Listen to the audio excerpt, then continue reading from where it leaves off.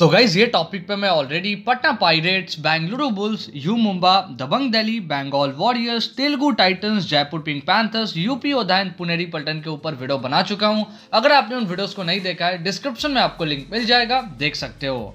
इस वीडियो में मैं आपको उन सारे प्लेयर्स के नाम बताऊँगा, जिनको प्रो कबड्डी सीज़न एट में गुजरात फॉर्चून जायंट्स की टीम रिटेन कर सकती है। तो ये वीडियो होने वाला है, बहुत ही ज़्यादा इंटरेस्टिंग तो आप क्या कीजिए? बस शुरू से लेकर अंत तक इस वीडियो को देखते रहिए।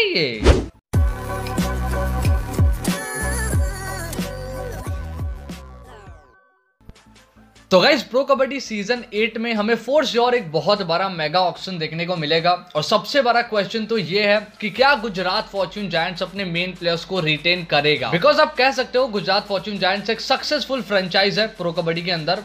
तीन सीज़न खेली है जिसमें से दो बार फाइनल तक पहुँची है और लास्ट वो सीज़न था जहाँ पे वो क्वालिफाई नहीं हो पाए थे। फ़र्स्ट सीज़न था जब वो क्वालिफाई नहीं हो पाए थे, उसके अलावा दोनों सीज़न में वो फाइनल तक गए हैं। अब एक टीम है जिसको फाइनल में जाने की आदत है, वो क्वालिफाई भी नहीं कर पाता है। देन वो टीम बहुत सारे बदलाव कर सकता है। आप सबको याद होगा प्रो कबड्डी सीज़न फाइव में गुजरात फॉर्च्यून जायंट्स के पास दो कमाल के कॉर्नर्स दो कमाल के कवर्स थे। सबसे पहले तो फजल अतर चली इसके अलावा अबूजर मिघानी, सुनील भी थे परवेश भी थे। लेकिन प्रो कबड्डी सीज़न फाइव में फाइनल खेलने के बावजूद भी प्रो कबड्डी सीज़न सिक्स में फजल अतर चली एंड अबूजर मिघानी को गुजरात फॉर्च्यून जायंट्स ने अपनी टीम से बाहर कर दिया। सोचो फाइनल में जाने के बाद जब गुजरात ने इतना बड़ा डिसीज़न लिया, अब इस बार तो क्वालिफाई भी नहीं हुई थी तो अब कितना बड़ा डिसीज़न लेगी गुजरात फॉर्च्यून जायंट्स तो ऐसा पॉसिबल है कि गुजरात फॉर्च्यून जायंट्स अपने सारे प्लेयर्स को रिलीज़ कर दे और एक न्यू स्क्वाड बनाए बिकॉज़ सीज़न सेवन उनका बहुत खराब गया था। और अच्छा जाने के बावजूद भी वो प्लेयर्स को रिलीज़ करते हैं। देन सीज़न खराब जाने के बाद तो शायद वो पूरा स्क्वाड ही बाहर कर दे because pro kabaddi season eight में एक बहुत बड़ा मेगा ऑप्शन होगा। इससे अच्छा मौका मिलेगा नहीं आपको एक न्यू टीम बनाने का। तो ऐसा पॉसिबल है कि गुजरात फॉर्च्यून जायंट्स अपने सारे प्लेयर्स को रिलीज़ कर दे। लेकिन शायद जो उनके बड़े प्लेयर्स है लाइक सचिन तनवर, परवेज, सुनील, इनसे बहुत ज़्यादा एक्सपेक्टेशन था प्रो कबड्डी सीज़न सेवन में, लेकिन कुछ खास नहीं कर पाए थे।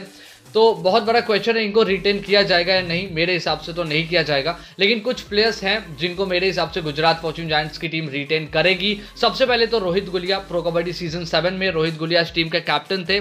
और बहुत अच्छा परफॉर्म किया था, एकमात्र ऐसे प्लेयर थे, आप कह सकते हो, जिन्होंने अच्छा परफॉर्म किया था, जिनसे एक्सपेक्टेशन था और जिन्होंने अच्छा परफॉर्म किया था, वो सिर्फ़ रोहित गुलिया ही थे।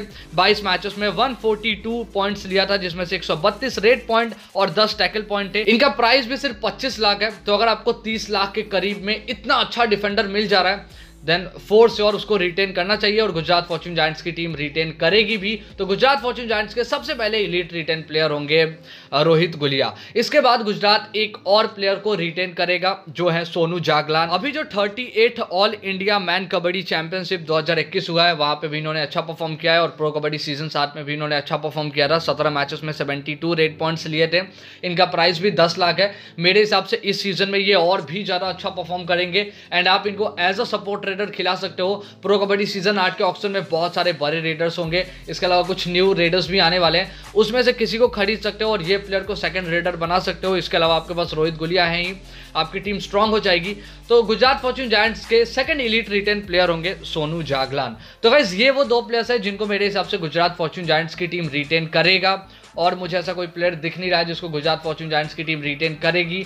मेरे हिसाब से तो गुजरात अपने पूरे जो स्क्वाड है उसको रिलीज़ कर देगा। जो कुछ एन है, शायद उनको रख ले। इसके अलावा जो भी बड़े प्लेयर्स हैं, अगर मौका देते हैं तो फिर तो क्वेश्चन उठेगा बिकॉज़ अच्छा करने के बावजूद भी बहुत सारे प्लेयर्स को गुजरात की मैनेजमेंट बाहर कर चुकी है लाइक फजल अतर चली अबूजर मिघानी अब खराब जब टीम ने किया है, तब तो आपको ये डिसीज़न लेना चाहिए था। लेकिन जब टीम ने अच्छा परफॉर्म किया था, तब आपने ये डिसीज़न लिया था। तो मैं तो ये एक्सपेक्ट कर रहा हूँ कि जब टीम ने खराब परफॉर्म किया है तो आप वैसा ही डिसीज़न लो, जैसा आपने अच्छा परफॉर्म करने पे लिया था। अब आप मुझे कमेंट्स में लिखकर बताओ, आपके हिसाब से गुजरात फॉर्च्यून जायंट्स को अपना एक न्यू स्क्वाड बनाना चाहिए, या फिर जो उनके पुराने प्लेयर्स है मतलब पुराने बड़े प्लेयर्स है लाइक सुनील, परवेज, सचिन, इनको रिटेन करना चाहिए या नहीं। और अगर आपने अभी तक दूसरी टीमों का वीडियो नहीं देखा है तो जाके देखो। डिस्क्रिप्शन में आपको लिंक मिल जाएगा और अभी के लिए बस एक वीडियो है होप आपको ये वीडियो अच्छी लगी होगी।